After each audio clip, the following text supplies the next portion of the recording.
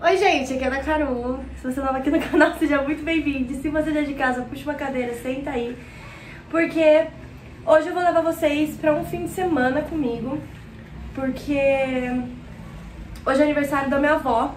E eu lembro que quando foi aniversário do meu avô, eu documentei isso. Eu lembro, acho que eu fiz isso. É, e hoje a gente vai comemorar o aniversário dela na casa dela, então falei, vou levar vocês junto comigo. E não somente isso, eu vou terminar de pentear meu cabelo e aí eu vou mostrar essa franja aqui, do nada. É, piorou. É, eu vou começar uma leitura. Pra ser bem sincera, eu tô com muitos livros começados, tá? Eu tô com alguns no Kindle que, pra ser bem sincera, eu não tô contabilizando, porque eu só vou contabilizar quando eu estiver perto de acabar, quando eu estiver super engajada a ponto de não. Não tem como fugir mais, sabe? E eu tô com essa. Isso aqui é uma espinha? Sei lá. Enfim, tem algumas leituras no Kindle que eu tô assim, abstraindo. Tô lendo. Acho que uns dois, três livros no Kindle. Então, como eu falei, estou abstraindo. E eu tô com dois em andamento físicos. Só que eu vou começar um terceiro. Porque aqui é o Clube das Malucas. Eu vou começar um livro que eu só tô começando ele porque eu tô super ansiosa para começar desde que ele foi lançado. O ritmo dele é muito bom, dada a experiência que eu tive com o primeiro livro, porque isso é uma sequência, tá? Então, porque, tipo assim, quando eu li o primeiro livro, tem até vlog dele aqui no canal. Quando eu li o primeiro, ele funcionou tão bem pra mim que se eu tivesse começado ele mais cedo no dia, eu teria terminado ele em um dia. Então, confiando nesse potencial única e exclusivamente, eu finalmente. finalmente vou começar Aprendiz do Vilão, que é a sequência de assistente do vilão. E não somente isso, eu tenho que mostrar, eu tenho, porque foi, foi a primeira vez que eu tive qualquer contato com autor internacional, tá? Fora a Aline Painter ano passado na Bienal do Rio, maravilhosa. Mas dessa vez eu peguei autógrafo, da Aline Painter eu não peguei. A minha mãe, a minha mãe, Hannah Nicole, assinou meu livro. Tá bom pra você? Porque pra mim tá ótimo. Então eu vou começar. E como eu falei, o ritmo desse livro, pelo menos do primeiro livro, funciona muito bem pra mim. É um tipo de, de livro levinho, gostosinho pra entreter, divertidinho, fofinho. E como eu falei, eu tô com outros começados. Só que esse eu tenho confiança de que eu termino ele até o fim de domingo. Então, vamos começar. E eu vou arrastar vocês pra esse fim de semana porque eu tenho muita coisa pra fazer. Tem rolê de Bienal pra terminar de guardar. Eu achei que eu teria feito isso antes, não consegui. Então preciso terminar de guardar algumas coisas. Preciso tirar esse esmalte da Bienal que tá podre já. É, e preciso também igualar o tamanho das minhas unhas, porque eu fiquei meio ansiosa lá em São Paulo e aí eu ruí tudo. Lindo! É, e vou começar o livro e vou trazer as minhas opiniões a respeito dele. Então é isso que teremos na nossa programação desses dois dias. Aniversário de vovó, unhas e assistente do vilão. Assistente não, aprendiz do vilão. Vamos lá. E aí, tirei meu esmalte. E eu, eu tenho que aceitar o fato de que as minhas unhas não aceitam ficar quadradas. Elas quebram e ficam feias. E aí, tipo, fica nesse estado aqui, tudo curtinho. E eu não passei nenhuma cor, não. Deixei assim, vou deixá-las assim essa semana. Semana que vem eu pinto. E eu tô com meu cabelo preso porque é assim que eu consigo fazer com que ele fique onduladinho. Eu seco ele bem seco e logo em seguida passo um olhinho nas pontas e já prendo pra ele ficar onduladinho. Agora já é quase meio-dia, então não consegui aproveitar muito minha manhã de leitura. Foi mais de fato para lavar uma roupa, estender uma roupa, tirar meu esmalte, etc. E agora eu vou finalmente começar Aprendiz do Vilão. Eu tô indo atrás, na verdade, de um marca-texto pra usar essa vez. Eu não sei ainda se eu pego a, a, um, alguma cor vermelha ou talvez um lilás por causa dos elementos roxinho que tem aqui.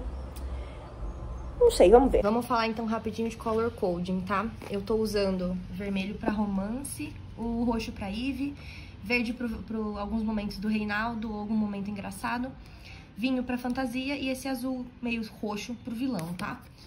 Então tá aqui. E eu tenho cores pra usar de marca-texto. Eu ainda não sei muito bem qual que eu vou usar. Deixa eu pegar aqui pra mostrar. Eu tenho essas cores. Tenho verde. Ah, não, mas tem esse verde aqui também, que é dessa coisinha. E tem amarelo. Eu acho que pra esse livro, eu tô pensando em usar esse laranja meio vermelho. Ou talvez o roxo, pra combinar com os elementinhos. Agora, eu não sei. Essa aqui eu vou até tirar, porque essa aqui passa pro outro lado da folha. Esses aqui não passam, inclusive, tá? Recomendação pra vocês, ó. Cis Lumi, Lumine Pastel, tá? Eu acho que eu vou... Acho que eu vou de laranjinha, porque eu não usei nenhuma vez esse laranjinha meio vermelho. Então, seja o que Deus quiser. Não é novidade que eu adorei Assistente do Vilão. Em Aprendiz do Vilão, a gente tem uma definição da Eve que eu acho assim... Eu. Eu. Ninguém deveria ser tão alegre assim. Ia contra as regras da natureza. Ai, olha, sinceramente... Vilão. Vilão! Gente, pelo amor de Deus, eu tô na página 63. Pra vocês verem como esse livro, esse livro flui simplesmente. E, gente, e que início de livro sensacional! Pra vocês terem ideia. Pra vocês terem ideia do que, que eu tô falando, do que eu tô passando mal. Eu não cheguei nem na página 100. Eu tô na página 67 desse livro. Então ela apareceu, cambaleando em meio aos corpos espalhados, tropeçando na barra do vestido. Uma onda de ternura o envolveu e atravessou a ferocidade que incendiava seu sangue. A raiva e o alívio duelavam dentro de Tristan, enquanto seus olhos famintos a devoravam, famintos por ela. Bochechas rosadas, lábios vermelhos como sangue, cachos pretos e bagunçados. Minha. Acabei de almoçar, liberei vídeo no canal. E, gente, ai, por que, que eu sempre dou com os livros na minha cara? Que saco. Olha o tanto de coisa que eu já marquei. E vermelho é só partes de bigalhas, tá? Amamos. Eu tô já na página 84. Simplesmente. Eu sinto que eu preciso falar antes de, de eu continuar. Eu, eu admiro muito a forma com a qual a Hannah Nicole consegue fazer cenas extremamente fílmicas. Sabe? Pra mim, essa, esse início de livro é a mesma cena do final de Shrek 2. Que eles estão indo resgatar o Shrek, etc. Então, é isso aqui, caras. Ela escreve de uma forma muito fácil de imaginar, sabe? Eu consigo imaginar com facilidade toda a cena desenrolando na minha cabeça.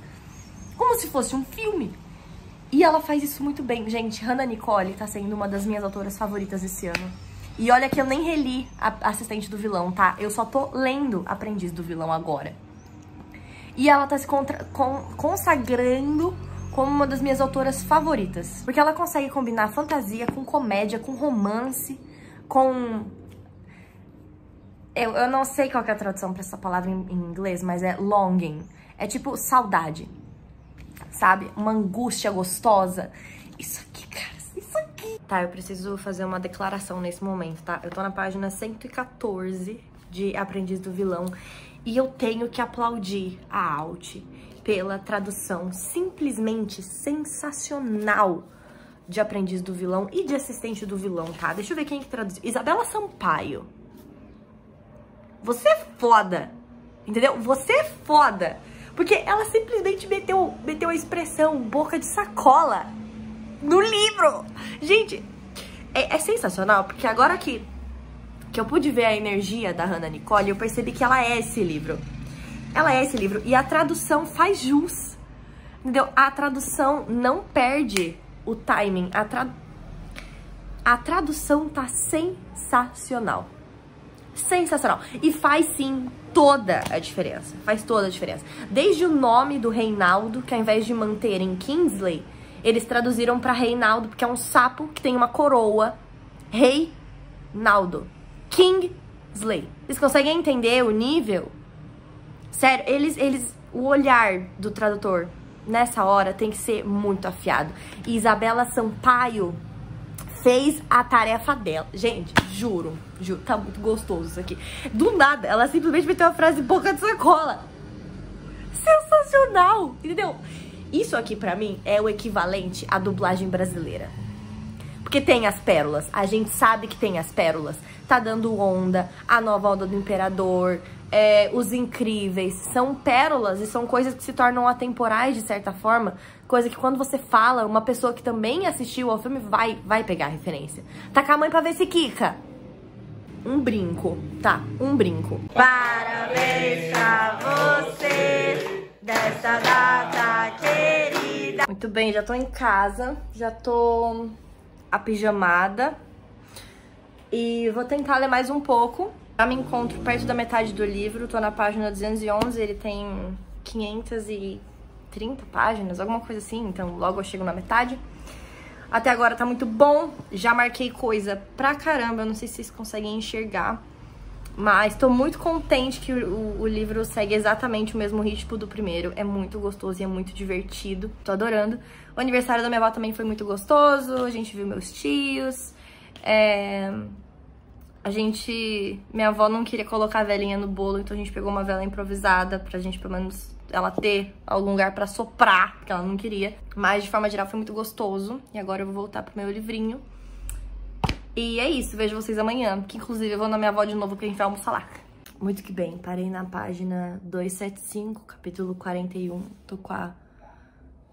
Tô com a Dona Mona aqui, né? Tô gostando muito da forma como o livro tá sendo guiado.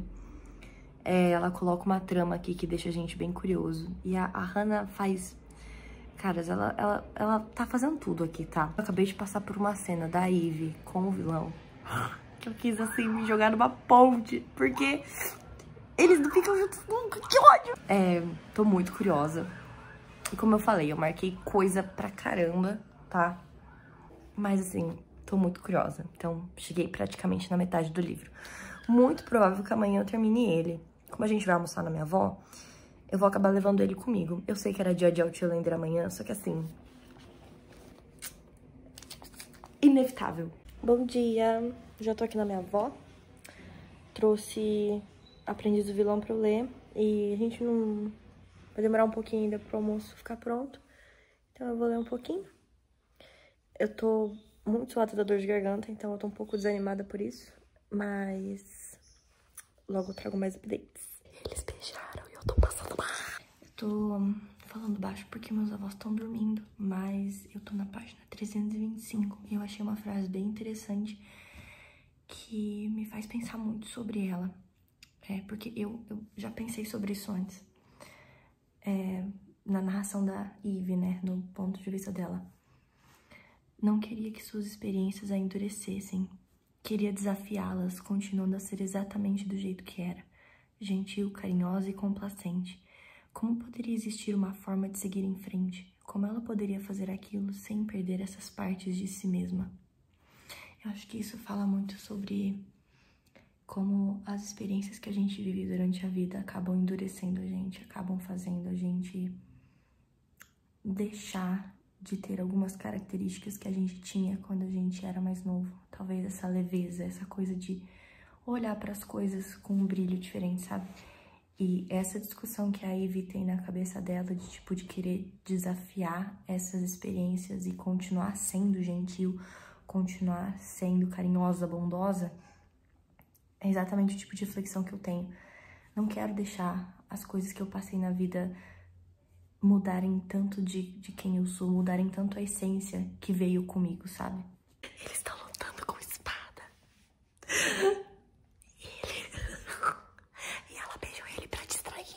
Gente, sinceramente, sinceramente, tô na página 459. Daqui a pouco falta, falta, falta isso aqui pra esse livro acabar. Falta isso aqui pra esse livro acabar.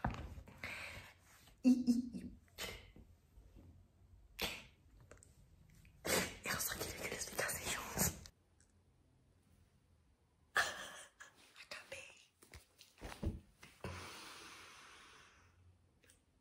Eu sinto que ela, ela explorou muito mais a fantasia do que no primeiro livro.